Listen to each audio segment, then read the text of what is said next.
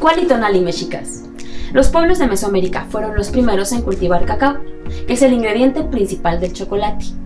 Seguramente a ti te gusta mucho este dulce, pero no tanto como a ellos, ya que ellos lo usaban incluso como moneda de cambio.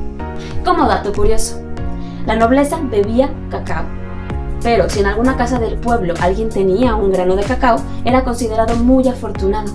¿Y tú, en tu casa, tienes cacao?